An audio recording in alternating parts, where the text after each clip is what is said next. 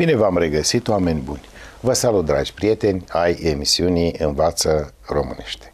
Și astăzi, ca întotdeauna, ne ocupăm de limba română corectă, așa cum apare ea în presa centrală, în mass media centrale, deci și la televiziuni și pe site-urile importante de pe net, acolo unde am și eu uh, acces. Încep cu un document al înaltei curți de casație și justiție, care aș vrea să vă spun de la început, conform unei legi de prin 2000 și ceva, este obligată să uh, folosească limba română corectă, de altfel toată justiția este obligată să folosească limba română corectă în toate actele, deoarece o greșeală de scriere poate atrage după sine anularea respectivului act. Dar să citez un document de la Înalta Curte de Casație și Justiție. În document se arată că Parlamentul a abilit prin lege Colegiul de Conducere al Înaltei Curs de Casație și Justiție să adopte regulamentul instanței supreme și să exercite atribuțiile din acest act administrativ. Ați remarcat și domnia voastră un cuvânt, abilit.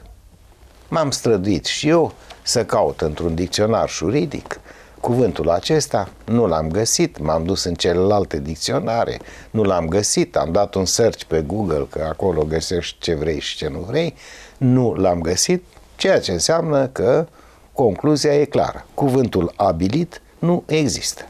Și atunci am stat și am gândit eu așa, m-am gândit ce ar putea să fie acolo.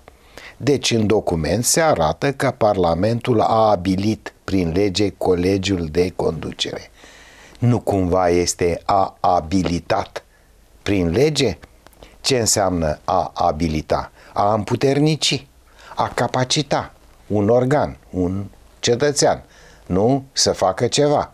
Ai da o nuanță de legalitate, o nuanță. Ai da legalitate nu numai o nuanță, ci integral, să spunem.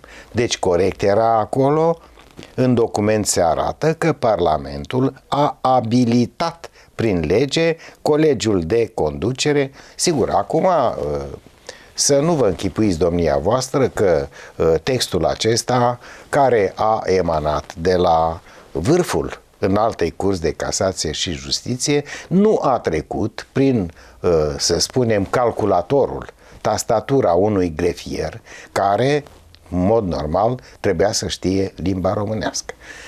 Calculatorul, evident că i-a subliniat cuvântul abilit, ca și mie acasă, nu, atâta doar că grefierul respectiv nu a dat atenție și a trecut peste. Da?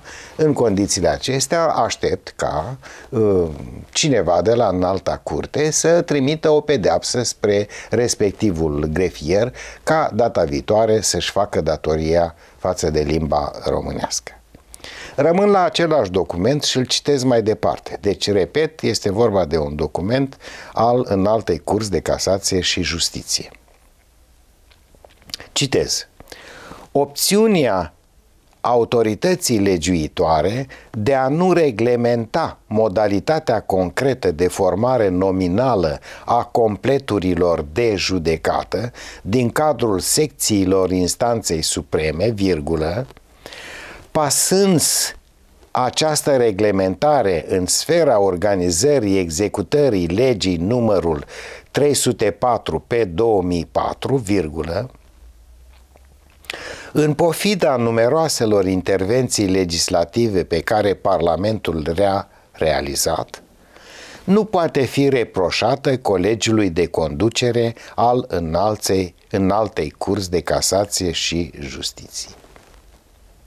Oameni buni,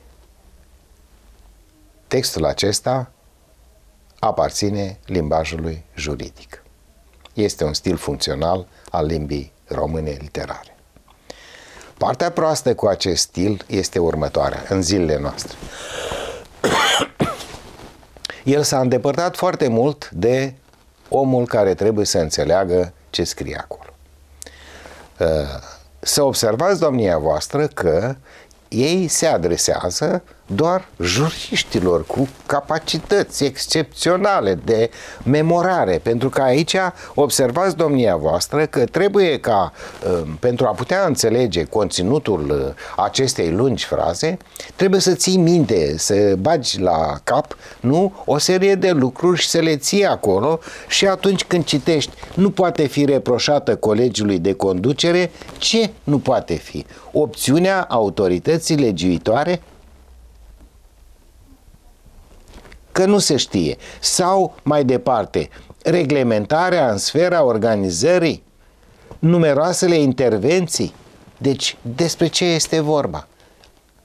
Vedeți, așa s-au scris sute, dacă nu cumva mii de legi în România, mii și zeci de mii de pagini pe care un judecător trebuie să le parcurgă atunci când dă decizia într-un fapt oricât de banal în instanță.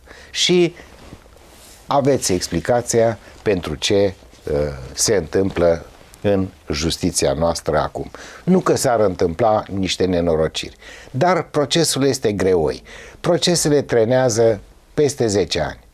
Sunt procese care merg mai repede, dar unele procese, mai ales în drept civil, trenează și depășesc un deceniu, încât uh, foarte mulți dintre solicitanți dispar, se mută pe deal la privighetori până când primesc uh, decizia. Acesta este motivul.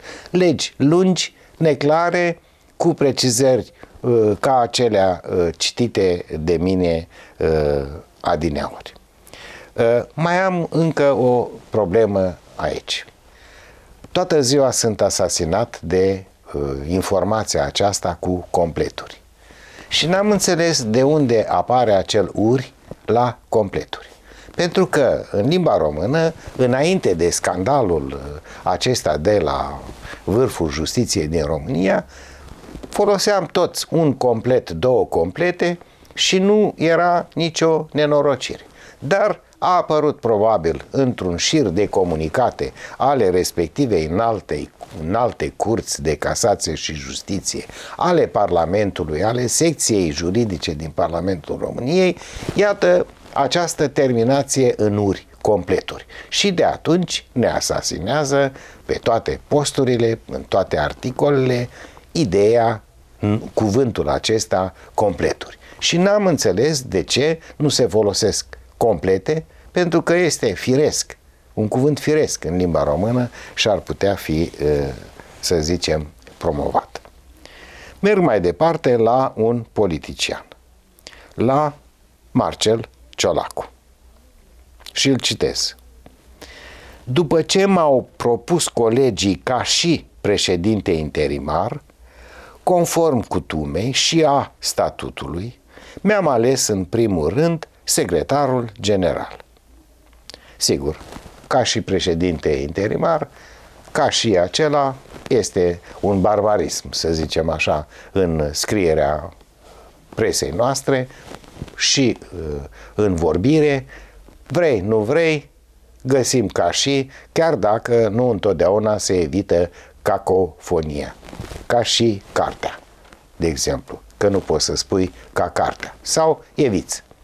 Aceasta este situația. Deci, pentru evitarea unei cacofonii, s-a băgat acel și acolo, după mine este o prostie și, evident, trebuie să înțelegem că, așa cum putem avea Biserica Catolică, putem avea și alte cacofonii în limba română, fără să ni se zburlească părul, să zicem așa, și fără să facem artificii ca acelea. Mai am însă aici uh, o chestiune. Domnia sa folosește dativul conform cutumei, uită că a folosit dativul în prima situație și pune genitivul în a doua, conform cutumei și a statutului, în, fo- în loc de conform cutumei și statutului. Sigur, de la un astfel de personaj politic, unul din, cred că, primii cinci oameni politici ai României, aș avea să zicem, mai multe pretenții în ceea ce privește corectitudinea limbii române. Mă opresc aici pentru astăzi, oameni buni.